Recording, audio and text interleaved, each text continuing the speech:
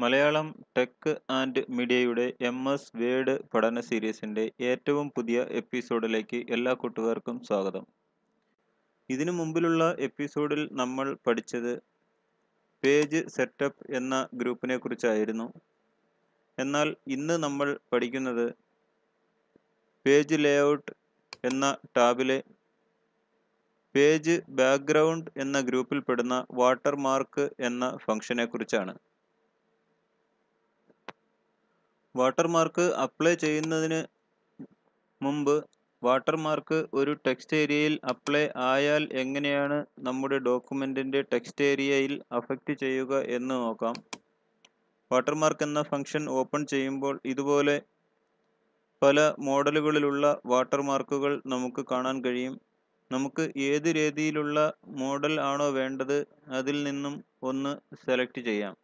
ഞാൻ രണ്ടാമത്തെ model select ചെയ്തു.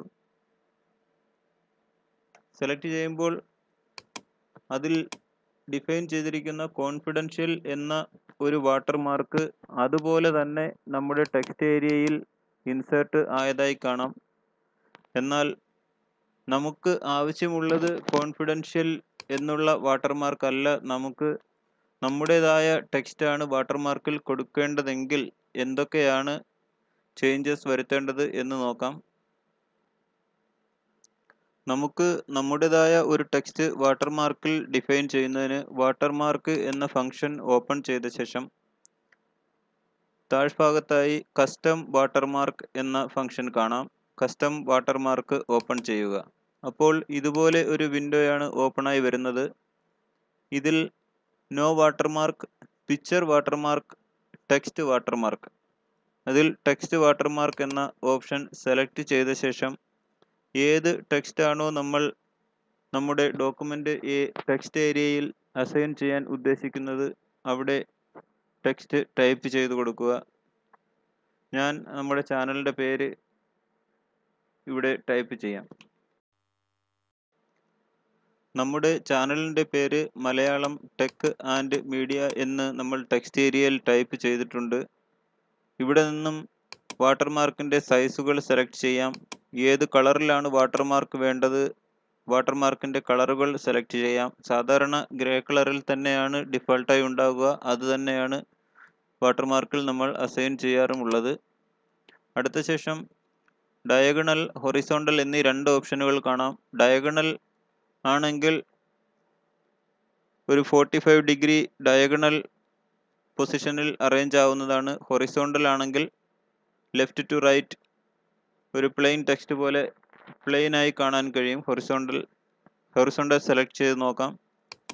അതിന് ശേഷം ഓക്കെ കൊടുത്താൽ ഇവിടെ ടെക്സ്റ്റിൽ നമ്മൾ അസൈൻ ചെയ്ത ആ വാട്ടർമാർക്ക് അതായത് നമ്മൾ എഡിറ്റ് ചെയ്ത അതേ ടെക്സ്റ്റ് തന്നെ വാട്ടർമാർക്കായി ടെക്സ്റ്റ് ഏരിയയിൽ അപ്ലൈ ആയിരിക്കുന്നതായി കാണാം.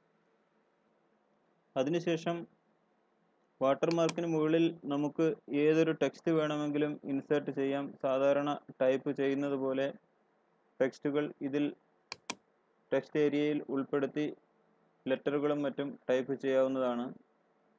നമുക്ക് എങ്ങനെയാണ് ചെയ്യുന്നത് എന്ന് നോക്കാം.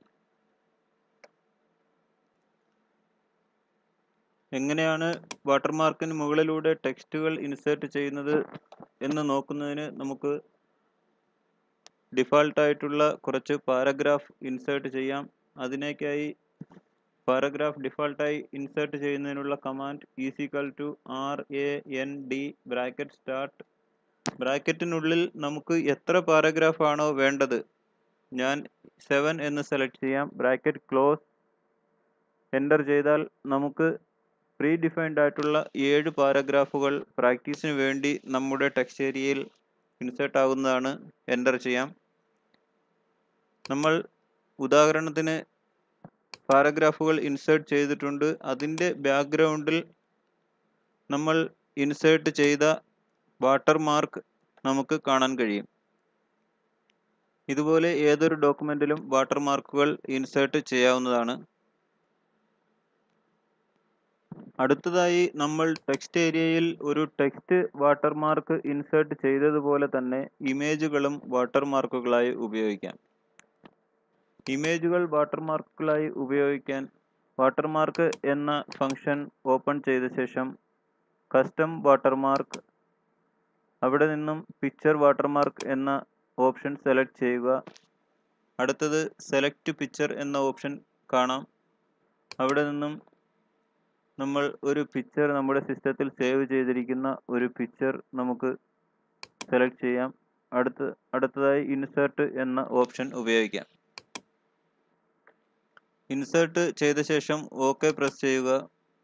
അപ്പോൾ നമ്മൾ സെലക്ട് ചെയ്ത വാട്ടർമാർക്ക് പിക്ചർ വാട്ടർമാർക്ക് നമ്മുടെ ഡോക്യുമെന്റിൽ ഇൻസേർട്ട് ആയതായി കാണാം. അതിനുശേഷം നമ്മൾ ആദ്യം പ്രാക്ടീസ് ചെയ്ത് നോക്കിയതുപോലെ കുറച്ച് പാരഗ്രാഫുകൾ ടെക്സ്റ്റുകൾ നമുക്ക് ഇൻസേർട്ട് ചെയ്ത് നോക്കാം. അതിനുള്ള command equal to R A N D bracket start ഒരു സെവൻ പാരഗ്രാഫ് ഇത്തവണ എയ്റ്റ് പാരഗ്രാഫ് ഇൻസേർട്ട് ചെയ്യാം.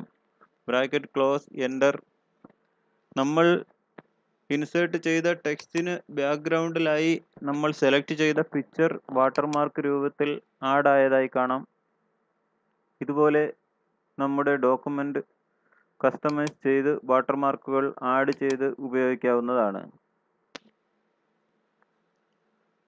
ഇന്നത്തെ എപ്പിസോഡിൽ നമ്മൾ പഠിച്ചത് ഒരു ഡോക്യുമെന്റിൽ വാട്ടർമാർക്ക് ടെക്സ്റ്റ് രൂപത്തിലും പിക്ചറിന്റെ രൂപത്തിലും എങ്ങനെ ആഡ് ചെയ്യാം എന്നുള്ളതാണ് അടുത്ത എപ്പിസോഡിൽ നമ്മൾ ഇതിന് മുന്നിലേക്കുള്ള പേജ് കളർ പേജ് ബോർഡർ തുടങ്ങിയ പാഠഭാഗങ്ങൾ കവർ ചെയ്യുന്നതായിരിക്കും. എല്ലാ കൂട്ടുകാരും ചാനൽ സബ്സ്ക്രൈബ് ചെയ്ത ശേഷം ബെല്ലൈക്കോൺ പ്രസ് ചെയ്യേണ്ടതാണ്. എല്ലാ കൂട്ടുകാർക്കും നമസ്കാരം.